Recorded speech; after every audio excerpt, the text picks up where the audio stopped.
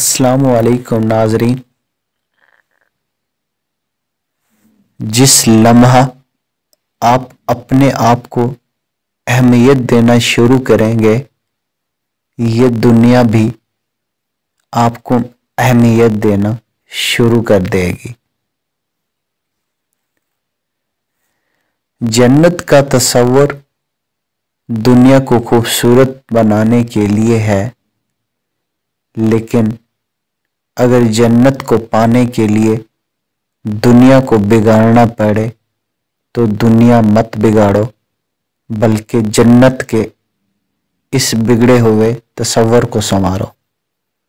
जो लोग दूसरों को अपने फ़ायदे के लिए इस्तेमाल करते हैं, वो खुद भी कहीं ना कहीं इस्तेमाल हो जाते हैं। कलम उठाने से पहले इतनी तहकीक करो कि तुम्हारे लिखे पर कोई दूसरा कलम ना उठा सके। तुम्हारे नफ्स की तरबियत के लिए इतना काफ़ी है। तुम इन चीज़ों से दूरी इख्तियार करो जो तुम्हें दूसरों में बुरी लगती हैं।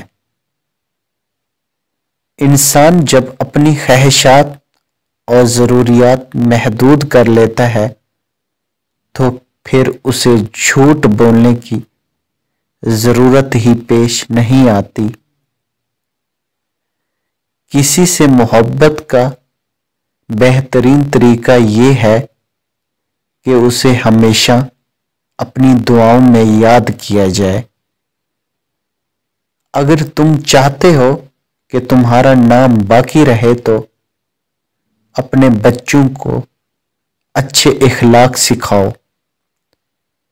एक हज़ार कबल इंसान मर जाने से इतना नुकसान नहीं होता जितना कि एक अहमक के सैब इख्तियार होने से होता है। इंसान दूसरे इंसान को जो सबसे कीमती तोहफा अता कर सकता है, वो वक्त है। उससे कीमती तोहफा इंसान इंसान को नहीं दे सकता। कभी कभी आपके पास रोने के लिए कंधा नहीं होता, लेकिन सजदे में रोने के लिए ज़मीन ज़रूर होती है।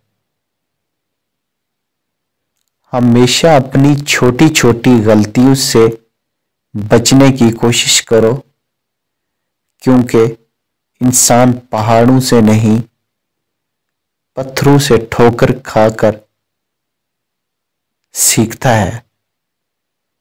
अगर हमारी वीडियो आपको अच्छी लगी हो तो प्लीज़ लाइक एंड कमेंट्स लाजम करिए। शुक्रिया।